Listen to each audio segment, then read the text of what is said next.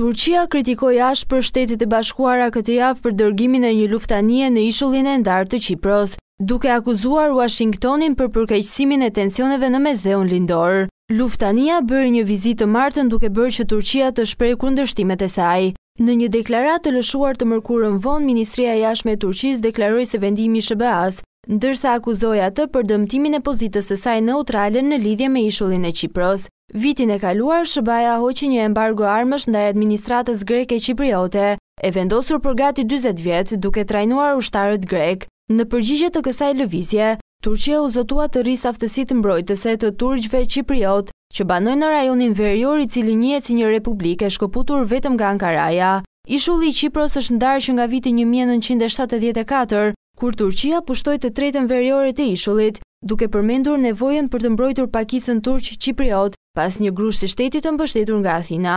Përplasjet mes Turqisë dhe SHBA-së vijnë para balotazhit presidencial në Turqi. Gjatë dy dekadave të tij në pushtet, Erdogan është përplasur shpesh me Uashingtonin, duke përfshirë mosmarrëveshjet rreth çështjeve të ndryshme, si blerja e sistemeve ruse të mbrojtjes ajrore.